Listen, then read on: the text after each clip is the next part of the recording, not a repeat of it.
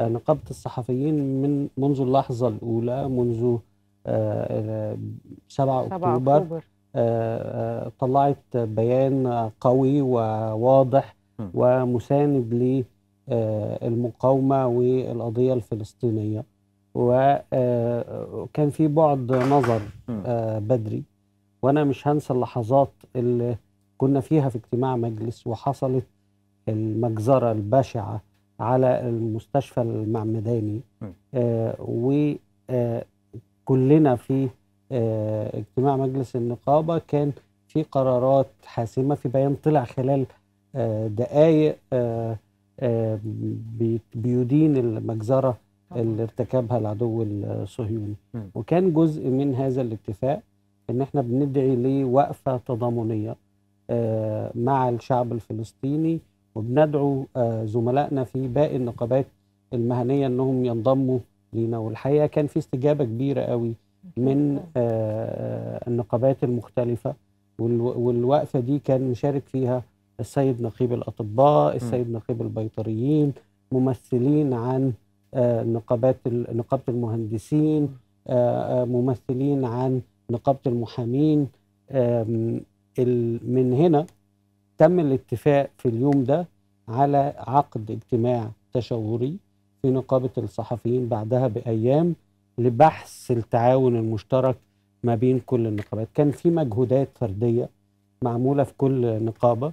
الاجتماع ده آه، كان مهم جدا لتنسيق هذه الجهود وخرجت عنه توصيات منها تشكيل لجان آه، للتنسيق تشكيل لجنة إغاثة ترتيب الجهود وتنسيقها آه، ما بيننا في الملفات المختلفة فيما يتعلق بالتبرع بالدم أو أيوة. أو التبرعات أو الحسابات البنكية أو م. تشكيل لجنة قانونية أو حتى في نقابة المهندسين مرحلة آه، إعمار غزة فيما بعد مم. والمساهمة فيها لأن إحنا شفنا المنظر البشع والتدمير وجرائم الحرب اللي بترتكب وتسوية المباني غزة الأصلا مكتظة. بالسكان آه، بالأرض آه، عيانا بيانا على مرأى ومسمع كل العالم اللي للأسف برضو كان في جزء مهم من التوصيات وهو آه، التنسيق ما بين نقابة الصحفيين ونقابة الإعلاميين لأن كل نقابة فيهم قامت بتشكيل لجنة لرصد الانتهاكات والتجاوزات أيوه. المهنية في وسائل الإعلام, الإعلام. فيها فعلا.